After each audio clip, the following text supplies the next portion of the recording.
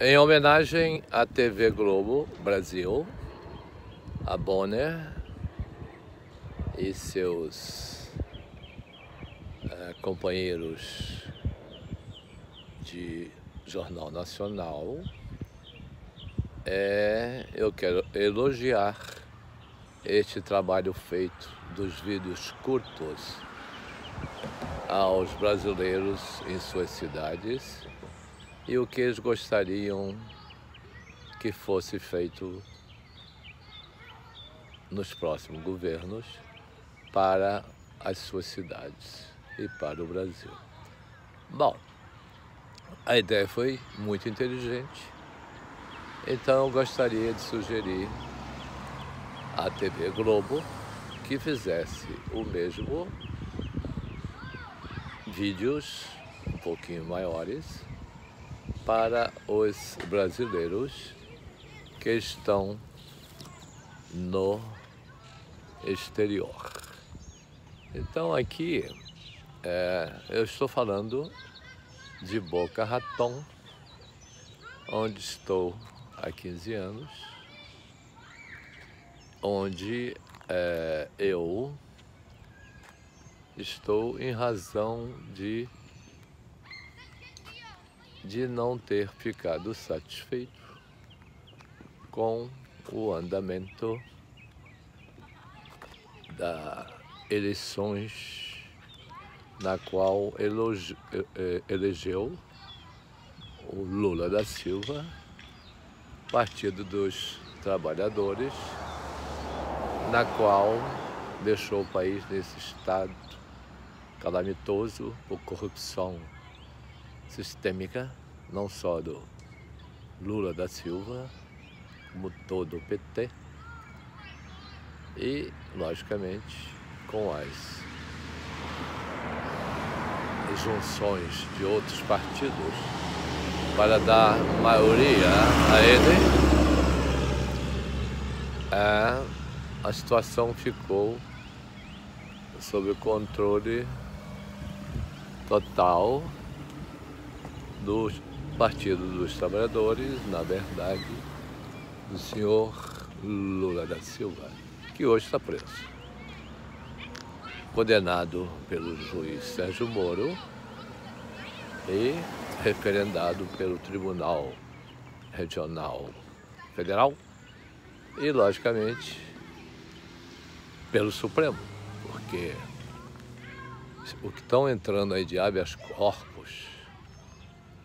e outras situações é um absurdo. Então, meus amigos, eu vou fazer uma comparação aqui entre o estado da Flórida, USA, que hoje é o nosso estado, pois aqui nós temos mais de 500 mil brasileiros residentes. O que eu quero sugerir à Globo é que faça uma campanha, porque existem milhões de brasileiros fora do exterior, que eles façam seus vídeos, como eu estou fazendo, para falar sobre o meu estado. Bom, como poucos sabem, todo estado americano tem suas leis locais. Então, existe a lei federal, existe o Supremo Tribunal Federal, e existem é, os seus estados. Os estados, aqui por exemplo na Flórida, onde eu resido, é, existem é, os condados, que seriam os municípios. O estado tem seu orçamento, e as cidades, chamadas condados, individualmente também têm seus orçamentos, como é nas prefeituras do Rio de Janeiro.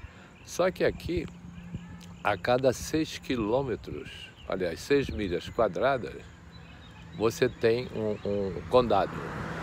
E esse condado, ele tem o orçamento e, na verdade, o que a gente paga de tax anual aqui da, da propriedade, apartamento, ou casa, o que seja, vai para esta, este orçamento, que é o orçamento uh, do condado. No caso, eu estou falando agora de Boca Raton. Então, o que, que acontece aqui? Aqui você tem esse orçamento, e nesse orçamento é o tipo assim, vou botar o prefeito dessa cidade, ele recebe orçamento com toda honestidade e esse dinheiro é usado para manter as crianças no colégio diário sem pagar um centavo até a faculdade. Isso inclui o ônibus, isso inclui uma refeição e a criança fica estudando de sete e meia, oito horas até duas da tarde. Veja bem, ali nesses colégios vocês têm todos os recursos para as crianças, que são recursos uh, de tecnologia, computadores, esportes e é, músicas, tem vários é, cursos grátis. Então você vê a utilização do recurso de um, de um pagamento de que aí chama de PTU é utilizado justamente para manter as crianças no colégio, manter os ônibus, manter os motoristas dos ônibus, são os ônibus amarelos, é, manter também os professores, manter manutenção dos colégios, e isso tudo, meus amigos, grátis até a faculdade. Então veja bem a diferença. Então aqui, aqui por exemplo, você tem a cidade limpa, porque tem, ah, tem a polícia local que é paga também no orçamento com esses recursos. Estou falando recursos do IPTU brasileiro, que aqui chama-se TEX. Temos também outros recursos que a prefeitura tem, que são estacionamentos na praia, na beira da praia, onde tem os seus controles, uma maquininha que você bota as moedas e, e os estacionamentos ao lado também, que uma ou outra é da prefeitura, o resto tudo é particular. Mas com isso, você tem uma cidade limpa, você tem a segurança, aqui qualquer problema que há, é só você ligar 911, em 3 minutos, 5 minutos, está cheio de polícia para ajudar você a te socorrer. Aqui eu mostrei no início, nós temos os bombeiros que fica aqui a metros da nossa, do, da nossa casa, do nosso bairro. Vocês podem notar que aqui a segurança é, também é, paga aqui pela prefeitura e nunca, nunca em 15 anos eu soube que houve alguma corrupção, que o orçamento não fechou e que houve desvio, né? É, em 15 anos. Aqui, por exemplo, eu esqueci de um detalhe. É, as escolas aqui não é só para americano, é para qualquer cidadão estrangeiro que esteja aqui uh, morando ou que esteja residindo legal ou ilegal e é, é esse dinheiro, é esse recurso que é pago pelos moradores, é pago pelos consumidores que vão fazer suas compras e não tem essa história de recorrer ao Estado pedindo um recurso porque ou o governo federal porque quebrou a receita que foi gasto mais do que devia ou porque houve corrupção e acabou o caixa, ficou negativo. Então, Bonner, por favor, aceite essa minha sugestão, porque você tem é, milhões de brasileiros que residem no exterior, com certeza porque não tinham emprego no Brasil, porque queriam uma nova experiência, porque queriam trabalhar no exterior para ajudar a sua família residente no Brasil.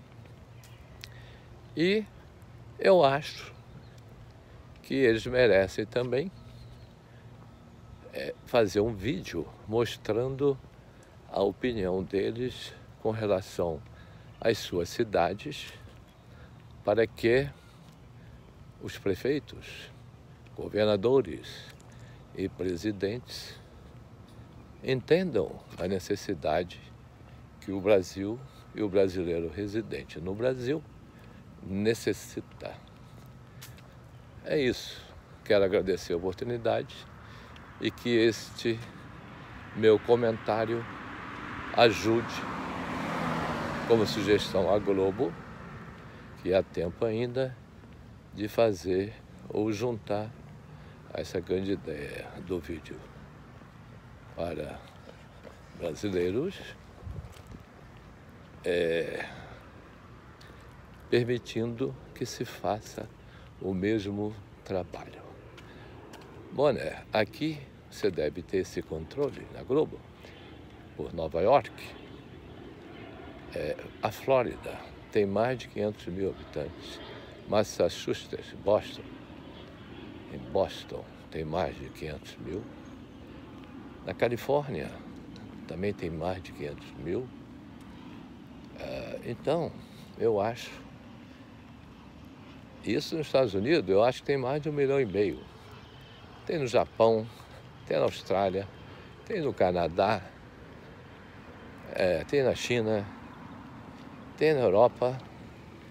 Então acho que valeria a pena aproveitar essa grande ideia que vocês tiveram e também é, dar essa oportunidade, oportunidade para que brasileiros residentes no exterior se sintam valorizados com esta ideia e que possam emitir sugestões ao dirigentes, aos dirigentes brasileiros para mudar o Brasil para o melhor.